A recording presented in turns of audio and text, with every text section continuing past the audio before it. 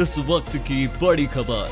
शिक्षक भर्ती परीक्षा पेपर लीक मामले में ईडी ने आरोपी रामकृपाल मीणा को किया गिरफ़्तार। पेपर लीक मामले में ईडी ने की पहली गिरफ्तारी। कोर्ट ने आरोपी को 27 जून तक रिमांड पर भेजा।